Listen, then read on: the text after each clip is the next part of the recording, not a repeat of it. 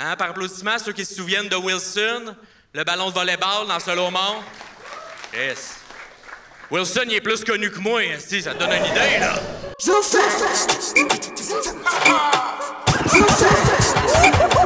sais, quand on est jeune, là, le gars qui est cool, là, au secondaire, tu sais, celui qui vient pas tout le temps à ses cours, parce qu'il préfère fumer du pot en arrière dans la ruelle. Mais moi, ce gars-là, je le dénonçais. Ouais. Moi et le gars on n'était pas des amis à l'école. Deux choses faisaient de moi une proie facile à l'intimidation. Mes lunettes, puis ma shape de jeune Père Noël. encore aujourd'hui, quand j'enlève mes lunettes, je ressemble à un gars qui devrait porter des lunettes. un moment hein? Euh, dans le milieu, on m'appelle aussi le Winnie the Pooh de l'humour. Hein, parce que moi aussi, je porte des gilets rouges trop petits pour ma shape. Le miel, je mange ça avec mes mains. Puis tous mes amis ont des problèmes de santé mentale.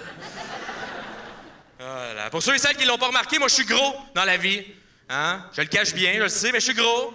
Puis euh, vous avez le droit de dire que je suis gros, hein, si mettons vous êtes dans la rue. Je vais dire, ouais, c'est, c'est le gars là-bas avec les cheveux longs gros. Je trouve que ça me décrit bien. Vous allez me reconnaître. Fait que, sentez-vous pas mal, tu sais. Puis, anyway, oui, je la, je la ressens, la pression de la société, à l'idéal de beauté que je corresponds pas parfaitement. Mais faut s'en foutre de ça. Faut juste passer à d'autres choses. Puis je suis conscient que c'est plus facile à dire parce que je suis un gars, là. Je le sais, Vous, mesdames, c'est terrible. Parce qu'on vous martèle depuis que vous êtes jeune, l'espèce de vision malsaine de c'est quoi une belle fille.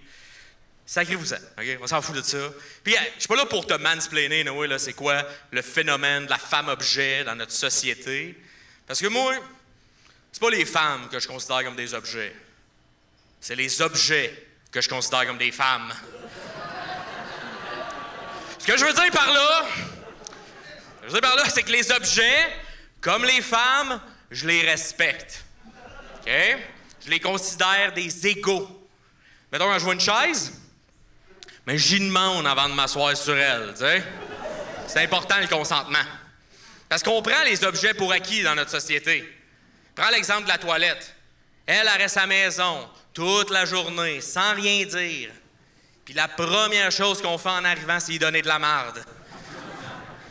essayez d'être plus empathique avec les objets qui vous entourent. sais, moi, ce qui m'a ouvert l'esprit, c'est un cours au cégep. Introduction à la psychologie de l'objet. Là-dedans, on étudie plein de philosophes importants qui se sont positionnés sur la question. Il y a Karl Mapp, Plato, Aristote, euh, des postales, Jean-Jacques Rouleau, Simone de l'Abreuvoir.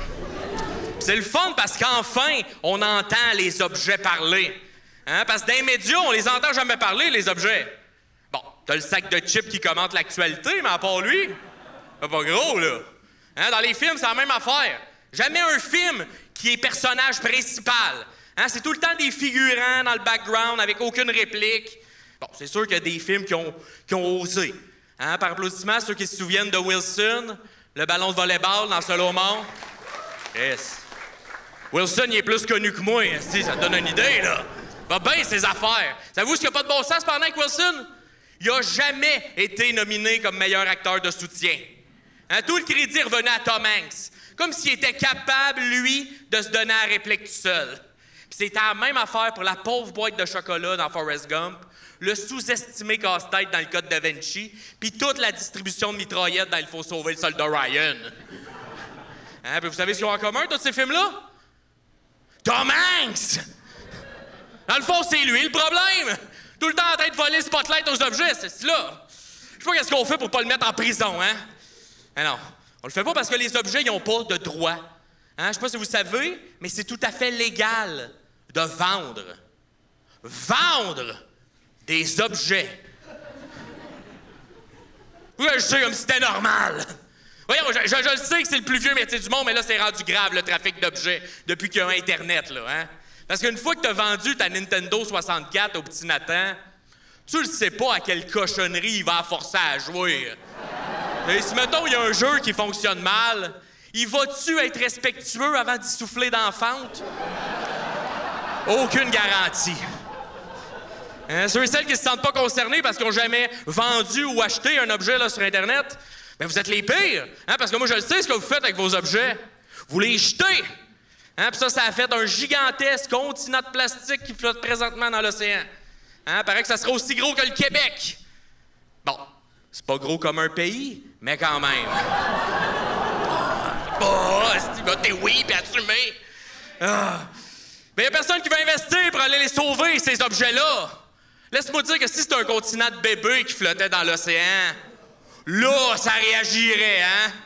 Une seule photo d'une tortue avec un petit bras de bébé de poignet dans le nez, puis tout le monde arrêterait de jeter ses bébés. Hey, je laisse là-dessus, je m'appelle Max Meyer. Bonne fin de soirée.